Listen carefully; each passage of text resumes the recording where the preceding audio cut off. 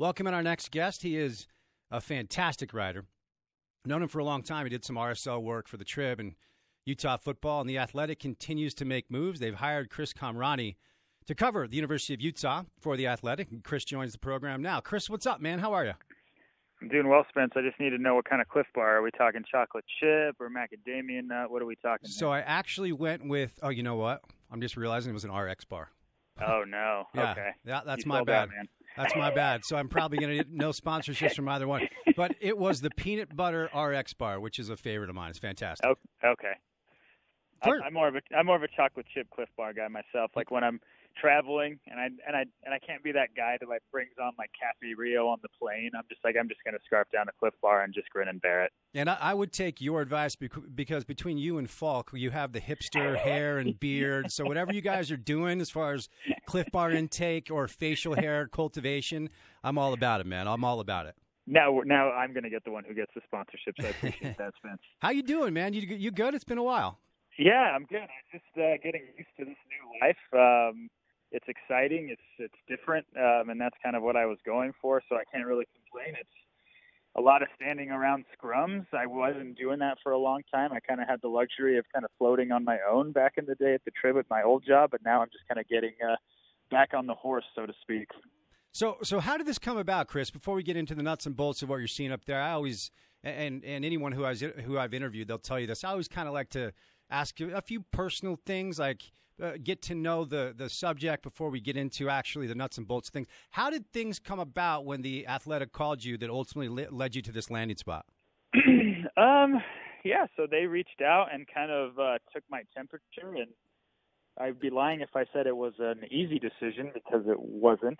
Um, I selfishly said I had the uh, the best job in sports media in terms of you know being able to do whatever I wanted to do at the Tribune, and I always tell people when the Athletic calls, you have to listen. Um, I've been a subscriber for a long time. There's a reason why I subscribe. Um, as most people know, you want to be uh, feel validated for the stuff that you pay for. So, and I've always felt like since day one, um, I've always come across things that I'm very interested in, and the Athletic, as you know, just does does things a little differently, and that's kind of my catchphrase. So when they came, uh, they came a calling. I had to listen, and I eventually just decided that, you know what, why not? I'm I'm a millennial. I might as well make my resume a little different. And if you guys uh, have not subscribed, I would recommend doing so. I mean, I love the NBA stuff. Uh, When Frank Isola uh, actually was texting with Frank when he was let go of the Daily News, and I said, "What's next?" And he said, "Hold on," and he sent me the link for the Athletic. I subscribed that day, and then I love Tony's stuff, and obviously, um, you have great stuff as well. So, Chris, before we get into it, tell all of our listeners where they need to go, how they can subscribe to get your stuff. Yeah, all you have to do is go to athletic.com, and there's a seven day free trial. And there we have so many expansion uh, deals going on because the athletic is still expanding in various markets and various sports. So the odds are that you know once or twice a month you will come across a pretty good deal that will give you your first year pretty uh, pretty discounted, I'll say. Uh, but it's a seven day free trial at theathletic.com, and and one thing I tell people is you, when you get a subscription, you're not getting a subscription for the writer you follow or the team you follow. You get the entire website. And they just expanded to the UK. Um, I'm a big soccer dork, so like I've been geeking out that you know the EPL is being covered full time by the Athletic now, so it's it's pretty exciting. Awesome. And check out Chris on Twitter. It's, it's easy. It's just at Chris Kamrani, which is K A M R A N I. All right, Chris. So I was watching um, Talking Sports last night, and I saw Leki Fotu and Julian Blackmon interviewed, and they both just had big smiles on their faces. And, and um, you know, Kyle Whittingham's camps aren't easy. He works his guys, he works his players. Morgan Scalley, same way. They're kind of tacticians. Their calling card simply is we're going to outwork you. But every interview I've heard, every soundbite I've seen, the players look genuinely happy. It seems like there's a really good feeling up there. Would you agree? Yeah, and and I think what's it, it is kind of odd in that like the competitions we're talking about is like the fifth offensive line spot and then the kickers. Like usually most teams have quite a few holes to fill coming into fall camp with, you know, departed seniors and you know, Utah just didn't lose that much. So they just have so many talented guys back and a lot of guys um, had a chance to go for the NFL in the spring, and they decided to come back for their senior year. And two of those guys are Julian and Leki. Um, and I think it just goes to show that these guys wanted to come back. the Pac-12 South title or the Pac-12 championship game left a real sour taste in their mouth. And I think one of the main reasons why they're so happy is because they kind of feel like they're ready to do something big. And um, some Kyle Whittingham camps, like you said, they they are very difficult. Sometimes it takes a little while to get things sorted out. But I mean, if we're talking about the fifth offensive line position and the kicker as kind of the main talking points each day in camp, I think that's kind of bears well for them going into the start of the season. You know, we were talking about this, JP and I were talking about this earlier, and the fact that you'd be hard pressed to find a reputable Pac 12 preview that doesn't at least have Utah winning the, the, the, the South, let alone winning the whole thing. And um, obviously, expectations. Um, are, are all around this program, but it kind of flies in the face of the whole, you know, us against the world mantra that Kyle and, and, and Morgan and those guys kind of have a little bit. Have you noticed any difference to their approach now that they are not the guys chasing the target, but they're actually the guys with the targets on their back? It's a great to be something to uh, keep track of once the season starts. And, and there's no better game to start off with than the BYU game, in my opinion. It's not a conference game, but this game is going to be a, a telltale sign of is this team legit? Is it as good as everyone says it is? Because if it is, they go to Provo, they take care of business, they don't really have any problems. But as that game has proven the last decade or so, outside of that 54 to 10 game, this that's always close. So I'm interested to see how these guys really take upon that pressure that's been laid upon them from the outside. Um, and, and, and see it because they, on paper, like you said, they are very talented and they should win the South. But in the past, they've always thrived when they are the underdog, and it's going to be a totally different thing now when they're the hunted and no longer the uh, the hunter. A lot of people, Chris, and Chris Kamrani is our guest from the Athletic. A lot of people curious about linebacker depth. Um, you know, one of the things that um, that, that Kyle is, is so good at, that he excels at, is is is identifying guys and moving them around and putting them in positions to succeed. Like a Chase Hansen, who is now uh, you know off to greener pastures. He's no longer there. Cody, Cody Barton gone as well. Um, two part question: How many linebackers, in your estimation, do you think are game ready? And how many other names are out there to provide that depth that they're going to need? Yeah, that's a, those are two great questions, and we talked to Kyle about that today. Uh, practice. He said he'd like to be six deep by the start of the first week of the season. Uh, right now, I'd probably say they're about four deep, and you got Francis Bernard, you got Devin Lloyd. Uh, they're really high on Trenton Carlson, this JC transfer from Ventura, but he was banged up a little bit. Kyle said, and he was out for a couple of days, but he was back today out there. Um, they're really high on Sione Lund, the Stanford transfer who came back, had to sit out last year. But he's a former running back that's never played a down of linebacker in the divi- in Division One football yet. So, um, you know, Utah's had a pretty good track record of turning guys around in various positions and getting them to succeed. Um, but they're already dangerously thin at that position.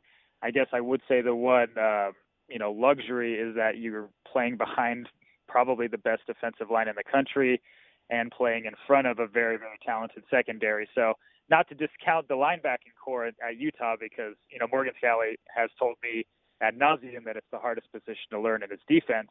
But I think there's something to be said about being able to just be surrounded by really talented guys to kind of ease that transition.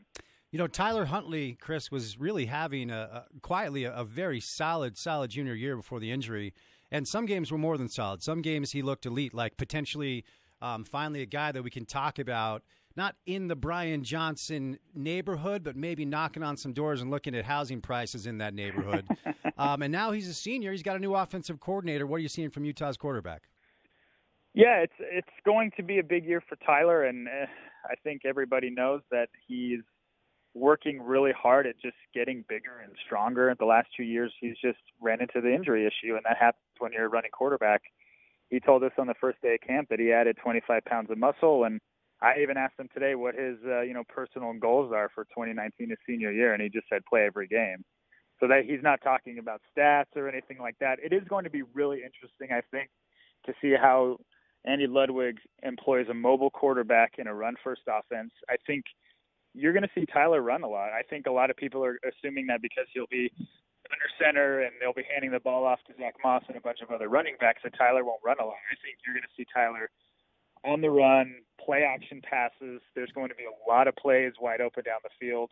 Um, and he looks noticeably bigger. And we, we say that every fall when guys come back from, you know, chowing down on whatever they've eaten over the summer. But I, I, I'm very fascinated to see how quickly Tyler picks up Andy's offense And I do think if they can get Britton Covey ready to go earlier, um, they could they could be pretty good offense. The defense obviously is going to be number one, but I think if they can remain healthy early on, it's going to be a pretty good offense. Outside of Britton Covey, Chris, do they have enough playmakers on the outside? Because it seems like every year during camp, you know, we hear from from guys on the offensive side like, "Oh, we've got burners outside. They're going to do this and that," and for whatever reason, it doesn't quite work out. I'm not sure why, but as much as everybody loves Zach and the, the stable of running backs and and potentially, you know, the ability to run the ball down people's throats to stay balanced, you've got to have some playmaker, playmakers on the outside. Outside of Britton, do they have those guys? Yeah, that's a great question. Right now, I would say no because no one's really proven themselves. But uh, Jaylen Dixon has uh, turned a lot of heads this camp. He he really came on at the end of last year. Kyle said that Kyle said last week that he, in his opinion, Jalen's one of the better deep threats in the country, which is saying something. I think they need to have a really big year out of Solomon Enis. Um, he's one of those rare, big-bodied receivers that Utah usually doesn't have.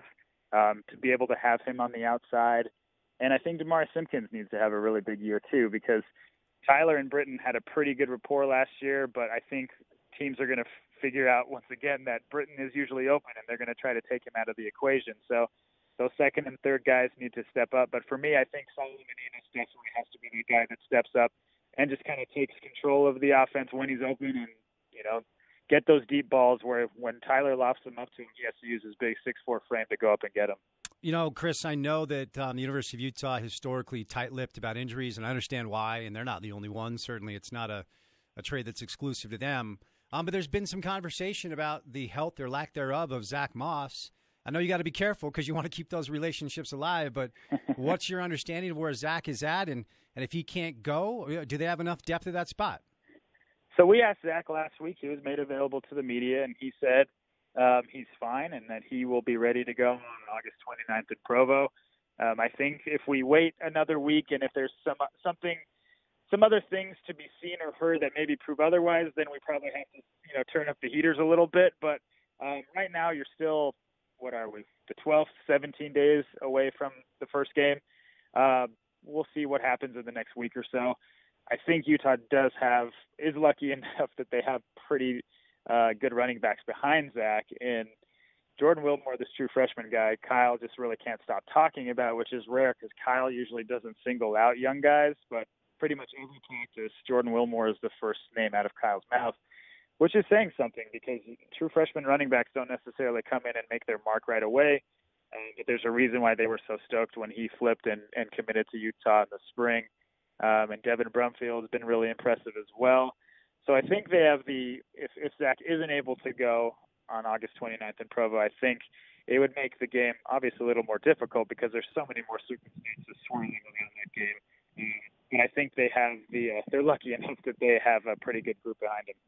Chris, last thing, we'll end on this, and I'll set you loose. You know, everybody around here, if you've been in this market for more than just a minute, you've got to take on the rivalry game. You've got to take on BYU Utah. Um, personally, and we're going to talk about this coming up on the other side of a break. I enjoy the game. I always have. It reminds me of growing up, and I'm old enough to remember when BYU just kicked Utah's head in year out, year in and year out. and now my son is of the generation where he can't fathom the fact that BYU was ever better than Utah kind of a funny dynamic, but right. Yeah, and so what's your take on just this game in general? Not specifically in 17 days, just this game in general. Oh, I just this is not going to earn me a lot of fans in the Utah fan base, but for me, it's a it's a must. I know it's tough because Utah's going to want to expand its non-conference scheduling, and I think a lot of teams might necessarily want to have wouldn't want to have BYU as their second best non-conference game.